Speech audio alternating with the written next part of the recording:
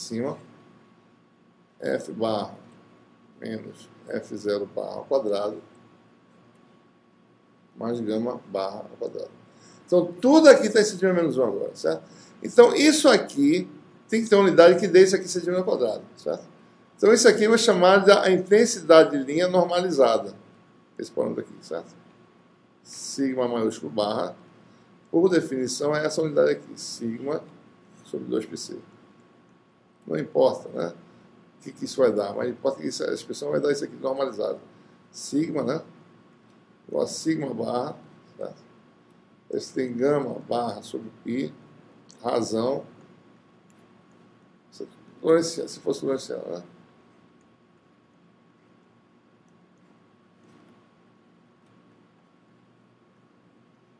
Certo? Então, o que quer dizer? Ora, isso aqui tem dimensão de quem? Tem dimensão de inverso de frequência, certo? Que é centímetros. Né? Isso aqui é dimensional, frequência, frequência ao quadrado. Inverso de frequência dá é, centímetro, dá comprimento. Certo? Inverso de frequência espacial é comprimento. Né? E agora vai ser o quê? Em centímetros. Então, isso aqui é medido em centímetros, para dar isso aqui em centímetro ao quadrado. No infravermelho, as seções transversais são medidas em unidade de centímetro ao quadrado. Quer dizer, unidade não, né? Em 10 a menos 15 centímetros ao quadrado, certo? Né? Porque, como essas coisas são em centímetros, tá certo? Isso aqui vai ser uma coisa pequena, né? Mas você tem F barra em centímetros, né? A intensidade de linha, né? Que o espectroscopista usa é em centímetros, de forma que a seção transversal vai resultar em centímetro ao quadrado. Né? Então, uma linha que absorve, a gente vai ver depois, tá certo? É... Vamos ter uma ideia aqui, né? O que é algo, algo significativo, tá certo?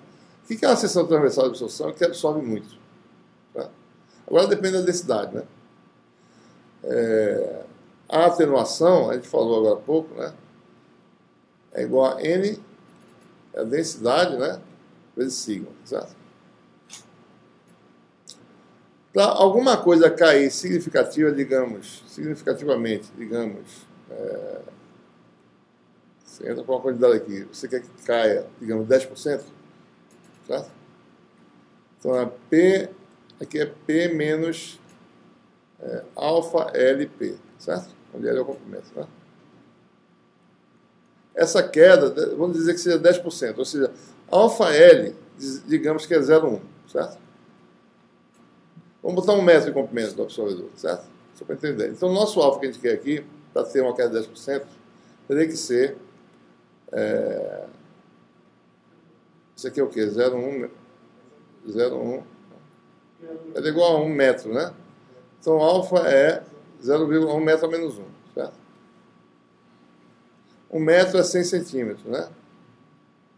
Dá 10 a menos 2. Isso aqui dá 10 a menos 3 centímetros a menos 1 de atenuação. Certo? Então, meu sigma tem que ser o quê? 10 a menos 3 sobre a densidade de moléculas, certo? Né? Que tipo de densidade pode usar para um gás? PV igual a NRT, né? Como é que a gente calcula? Densidade de um gás em condições normais.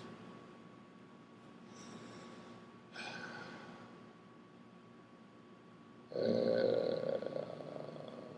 Uma atmosfera teria que 6,02 deve 3 por metro mole. Vamos dizer que a distância média quadrática, a distância média de dois átomos seja um centímetro, certo? Né? Certo? Bem longe, né? Se a densidade, digamos, de. Acho que a densidade razoável. Deixa eu ver. Ó, um sólido, a distância é 3 angstroms, certo? Vamos botar 10 vezes isso. Já, já não é mais um sólido. Né? você não tem nenhum sólido que tem a distância é, 10 vezes 3 anos, certo? 30 anos. Vou botar 100 anos de distância, certo? Então ele tem a densidade 1 sobre 100 anos ao cubo, certo? 1 sobre 10 a segunda, 1 sobre 10 a sexta, angstos ao, ao cubo. Um angstrom é o quê? 10 a menos 10, ou seja, 10 a menos 10 metros. Ele está em centímetros. 10 a menos 8 metros, certo? 10 a menos 24. 24 com 16 dá o quê? 18. Dá 10 a 18. Pronto. Isso é razoável. Centímetro a menos 3, a densidade. Tá? Se eu botar 10 vezes mais, mil angstroms, né? eu tenho 10 a 15, é o que eu falei. Né? Mil angstroms, vamos botar 10 a 15, que eu acho que é mais razoável, certo? Então, a densidade de 10 a 15 por centímetro cúbico, né? Me dá uma seção transversal de absorção, certo? É... 10 a menos 18, né? É isso mesmo? 10 a menos 18, né? 10 a 18, eu estou botando 10 a 15 por centímetro cúbico, né? Então, 10 a, é 10 a menos 18 centímetros quadrados. Então, se você tiver uma seção transversal de absorção dessa ordem, máxima, né? No meio da linha, certo? O máximo, falando do máximo, né? A gente teria aí, né? é, teria aí uma queda razoável depois de um metro, certo? Só para ter uma ideia do tamanho das coisas. Né? Desculpe, é, quadrado. quadrado.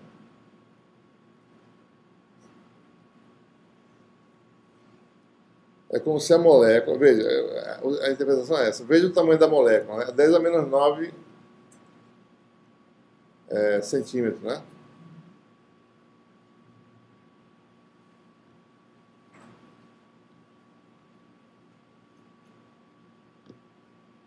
Isso aqui é 10 a, 7, 10 a menos 2 nanômetros, né?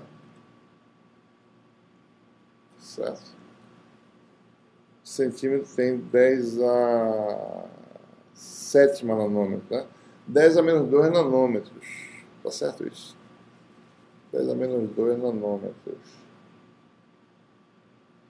0,1 angstrom, né? Tamanho do átomo de hidrogênio. Isso é meio pequeno, isso aí geralmente é maior, né?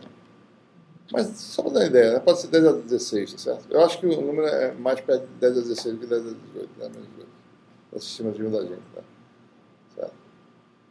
Bom, pessoal, então, ficar por aqui, certo? Próxima aula a gente vai falar agora sobre resolução espectral, sobre esses outros conceitos.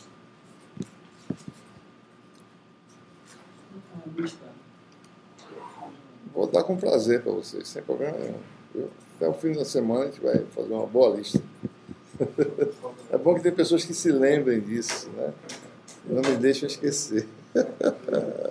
Não esquece, não. A gente comentou isso lá fora. Ninguém lembra. O professor não esquece. Ele não entrou na roda para começar. Ele não estava participando da conversa, na verdade. Não participou.